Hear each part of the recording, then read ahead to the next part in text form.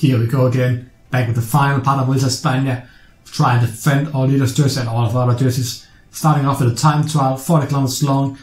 I've done this two times before, and I, I think actually ended up winning both of them by saving energy at the beginning and then spending it at the at the hill here because there it does actually go slightly uphill from the final checkpoint and uh, to the goal line. So we'll try and do that then. I'm of course the last guy standing, so let's get it started. Okay, it's my turn now. Finally, final rider leaving the start line. At the finish line, left Dylan Atkin, Jan Brockhoff, Ryan Mullen. I'm pretty sure Ryan, Ryan Mullen is a real rider because I remember him from the under 23 race this year. Um, Dylan Atkin and Jan Brockhoff. And Brockhoff was 24, so he might be a real rider, but I'm, I do not think Dylan Atkin is a real rider.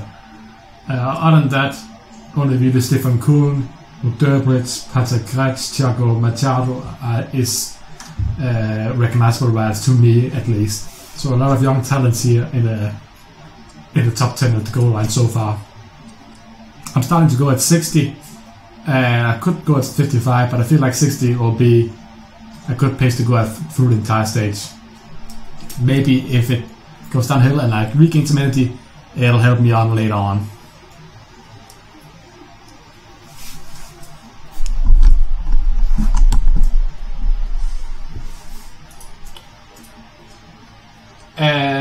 First hit point is right here. Let's see. 14th place. Contador 8 seconds ahead of me so far, but my green bar is a tiny bit bigger than my blue bar, so hopefully his green bar is a bit shorter than his blue bar at this moment. If you get what I if you get what I say. But yeah, just looking actually okay so far. I'm happy about how it's turning out at the moment, and this was mostly uphill at the beginning, a long down position here, so I should be uh, even more behind now if I if I'm guessing correctly. As we get into the second time check. Let's see, I'm guessing I'm about a minute and 30 behind now. Once we hit the second time. Here we go. 149 and one oh actually lost a lot of time with the door as well. But now I have the ability to go to I feel like I can go, I can go to 70 here. Still two kilometers up to Contador. I can't see him. He's over here somewhere. I think he's actually catching uh, Adam Yates, who's a pretty terrible time trial. So that's not the biggest surprise that he's being overtaken by Contador up here. Yeah, he's just being overtaken right now. I'm about 1.5 kilometers behind him, which is probably the, around the same uh, as I started with. Not a big deal at all. This 70, can I push it up to 75 here at the end? Don't think I can. Right now, only 900 meters behind Contador, who's not really gotten past Yates. I think they're both pretty dead, dead tired at the moment, which is why we're not really seeing any of them pulling away from each other. But yeah, as I cross the one kilometer mark here, Contador sprints across the finish line, and I can do so as well because it's flat, so it's actually probably only around five, six hundred meters after him at the end. And I'll take eighth place, one minute behind Don Atkin, who takes the stage win, but in front of Contador, who I think lost over two minutes. So I probably gained around a minute on Contador again today. In the end, I ended up gaining 50 seconds on Contador, who's now 6 minutes and 14 seconds behind.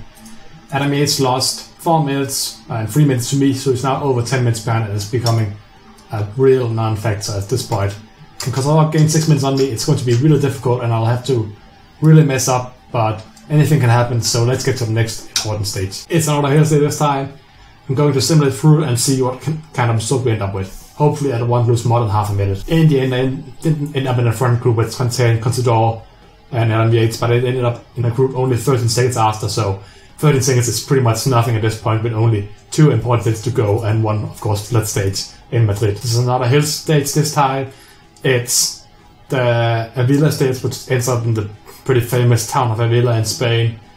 Up a little cobblestone climb, but shouldn't make a big difference today. I should still not lose a lot of time. In the end, I actually ended up gaining a minute and a half on the cobblestone. I don't really know. 58 cobble, I have 61 and 57. Pretty sure that that was the difference maker, but uh, I mean, I'll, I'll, I'll take what I get. Gaining a minute and a half on the stage, but I didn't even try, and I actually expected to lose time. It's a quite big bonus. Ended up being some of the more breakaway type riders and cobblestone specialists who ended up deciding the stage between them with the winner being uh, Stefan Küng from the BMC team. But yeah, only one mountain to go. It's pretty important one actually. It's downhill though, but yeah, it's the one where Aru finally ended the Dumoulin stream and then uh, took the World Inspire this year. And here we have the profile of that stage. Four Calerone Mountains, flat section at the end, and then it goes downhill towards the finish line. I have driven this stage before, and every single time I've driven it, I actually end up losing time to both first time Quintana, then Contador. I'm in pretty bad shape, so I was hoping that, that I could end up winning the World Championship as well, but that's looking more and more unlikely at this point. Let's just try and win the final weight stage. Then we'll worry about that in the next video. Okay, we're at the bottom of the final climb. I haven't done anything yet and I don't intend to do anything on this final climb. I'm just going to react right my own pace once Contador makes his move. I think Yates can go what he wants to. The breakaway is probably already four minutes ahead, so I'm probably not even going to catch them even if I go now.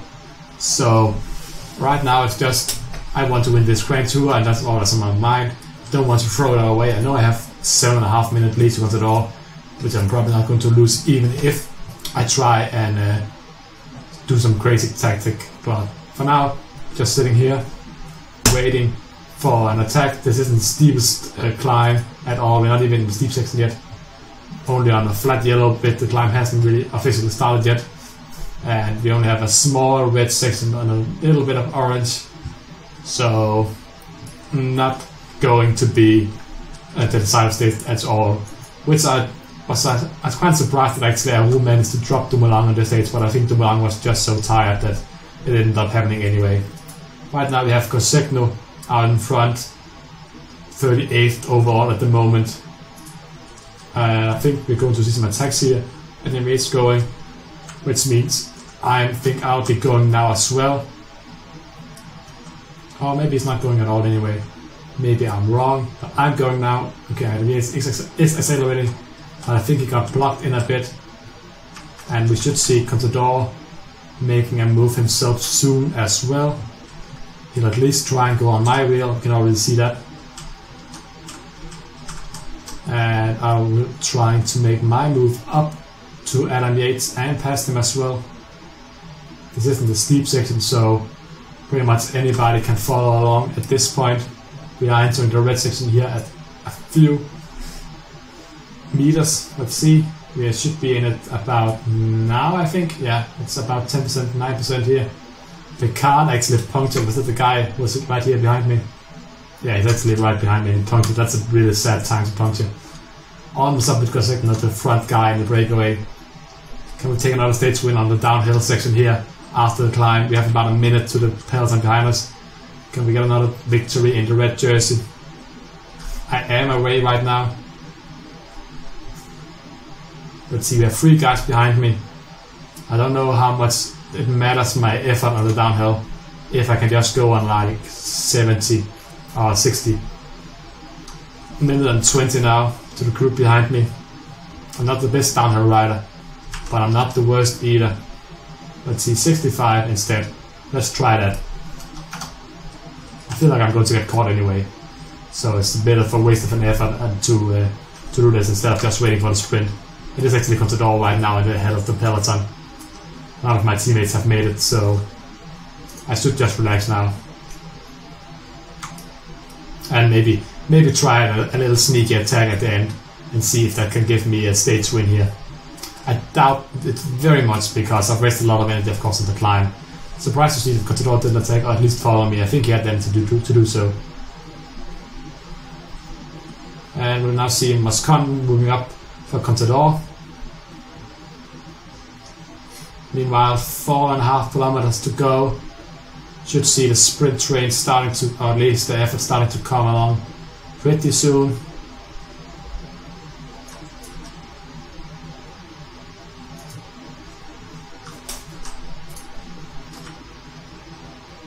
Two kilometers to go. I'm moving here on the left side.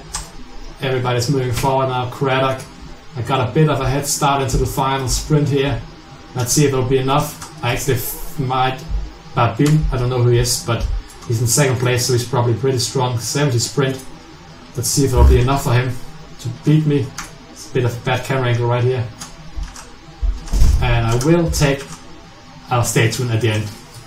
I, I feel like I played that sprint perfectly attacking at the end, so I got a bit of a head start into the final sprint and it ended up working out for me. Now we're gonna have this final stage, which we will take a chance and simulate through, and then we'll have won all three Grand Tours in one year. After the sprint stage, I ended up winning, of course, seven and a half minutes ahead of Contador and 11 and a half minutes ahead of Adam Yates. Good took fourth, Craddock sixth, Nat sixth, Monticchiolo uh, took seventh, Sagrin eighth, Moscon ninth, and Valverde, old, old Valverde, 39 years old, ended up actually getting a top 10 place. Really impressive.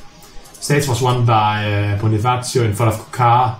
Kronos and Bonifacio is up to 82 sprint at the moment. Mountain Jersey, I dominated completely, double the points, over double the points of Contador, Yates in third place. Points Jersey was also won by me, 225 points. Adam Yates was there. We had uh, Caleb Ewan for a long time, but he ended up quitting because I think the time gap, a time limit, uh, got him on one of the stages, but at least he's not here anymore, so I don't know when he got out. At some point he did. Young Wild, of course, I won as well. Montecuolo in second place here, and Moscon in third. Team did go so well for physics. We actually ended up in third place, thanks to a nice effort from Pombilla, and I think Picard were the best two guys from my team, apart from me, of course. And I, of course, have a big part of the reason we are only in top three. Surprised by Sky, but they lost five of the riders, including uh, Simon Yates on stage three. I, of course, lost, lost Vervake, who could have probably gotten a top 15 place and maybe got us up to close to Movistar overall. But yeah, that's it for this World Set. Next time, I'll try and do the World Championship double, winning the World Championship time trial and the World Championships. I have won the time trial in my second season, haven't won it since, and I've never won the World Championship, so that's pretty much my only remaining goal of this season. So see you guys next time. Goodbye.